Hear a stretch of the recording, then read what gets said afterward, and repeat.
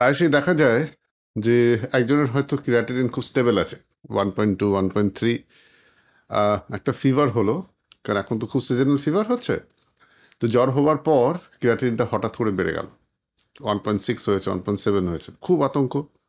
তো এই যে সমস্যাটা, যে কোনো একটা common illness specially fever respiratory tract infection urinary tract infections এইগুলো হলে সাময়িকভাবে আমাদের ক্রিয়াটিনিন কিন্তু বাড়ে।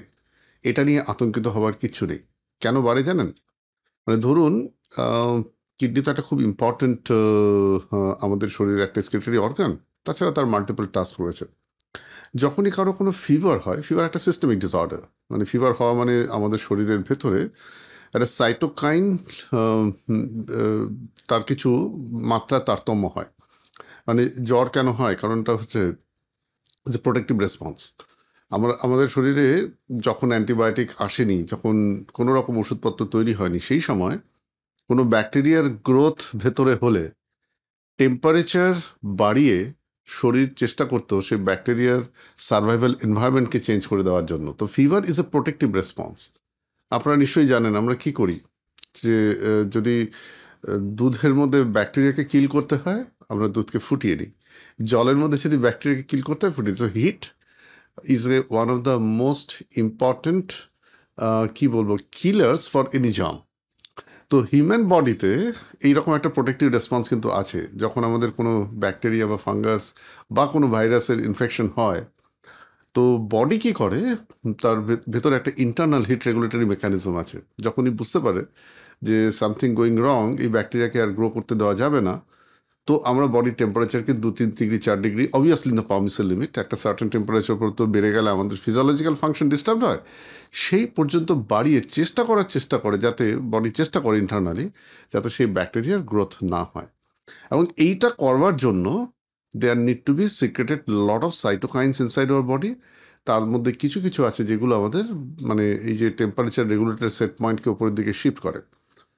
তো আমরা এই হিট যে protective response fever is a protective response এই জিনিসটাকে বুঝে মানে কতখানি টেম্পারেচারে আমরা চিকিৎসা করব, কোন টেম্পারেচারে আমরা ওষুধ দেবো, তার কতগুলো মেডিকেল গাইডলাইন রয়েছে। কিন্তু আজকাল তো হয়েছে সেরকম, কেউ আর সব মানে না, জ্বর এলো, সঙ্গে সঙ্গে ক্যালপল খেয়ে নেয়, সঙ্গে সঙ্গে অ্যান্টিবায়োটিক খেয়ে নিই আমরা। তো আমরা খুব কুইক সব কিছুর একটা রিলিফ চাই which is probably not correct against the physiological thing having said that এটাও ঠিক যে আমাদের বুঝতে হবে যে যখন কোনো একটা ইনফেকশন হচ্ছে, যখন বডি চেষ্টা করছে প্রোটেক্ট করার জন্য অ্যান্টিবায়োটিক বা যা কিছু আমরা দিই সেটা হচ্ছে বাইরে থেকে সেই সোর্স অফ ব্যাকটেরিয়াটাকে কিল করা যাতে কিনা ফিভার অটোমেটিক্যালি কমে। তো সেটাও একটা অবভিয়াসলি আধুনিক চিকিৎসার পদ্ধতি যাতে আমরা এগুলো করি। কিন্তু যেটা আমরা আলোচনা করছিলাম, যখন এরকম একটা জ্বর হয় বা কোনো একটা ঠান্ডা লেগে যায় বা সর্দি কাশি হয়, তখন because of the change of cytokine milieu আমাদের কিডনির অটো রেগুলেশনস তার ভেতরে ডিফারেন্ট ক্যাটাবলিক ফেস বাড়ার জন্য তার excretion capacity of the different ক্যাটাবলিজও মানে ডিফারেন্ট মেটাবলিক বাই প্রোডাক্টস এইগুলোর কিছু অল্টারনেশন হয়। এই অল্টারেশনের কারণে সাময়িকভাবে ক্রিয়াটিনিন কিন্তু একটু বাড়তে পারে। প্লাস তার পাশাপাশি যে অ্যান্টিবায়োটিক আমরা ইউজ করি টু ট্রিট ফিভার যে সমস্ত অ্যানালজেসিক বা কোনো রকম ওষুধপত্র যেগুলো আমরা খাই, তারও একটা নেগেটিভ ইম্প্যাক্ট কিডনির উপর পড়ে। পাশাপাশি ফুড হ্যাবিটসের কিছু চেঞ্জ হয়। তো এই সব কিছু মিলে পোস্ট ফিভার একটু একটু ক্রিয়াটিনিন বাড়াটা খুবই কমন এটার জন্য অরিড হওয়ার কিচ্ছু নেই। আমরা যদি আবার জ্বর কমে যাওয়ার পর ইনফেকশন সেটেল করার পর, যেটা আমাদের normal dietary regime normal food regime যেটা আমরা ফলো করছিলাম, সেটা যদি আমরা আবার চালু করি, তাহলেই কিন্তু আবার ক্রিয়াটিনিন তার নিজস্ব জায়গায়, নিজের স্টেবল জায়গায় ফিরে আসবে। সুতরাং একটু জ্বর হলো, তারপর যদি একটু ক্রিয়াটিনিন বেড়ে যায়, একদম এটা নিয়ে অরিড হবেন না।